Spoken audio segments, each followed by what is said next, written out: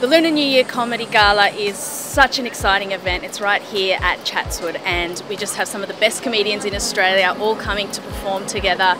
It's, you know, 70 minutes, it's all killer, no filler. Every, everyone's just at the top of their game, so it's really exciting.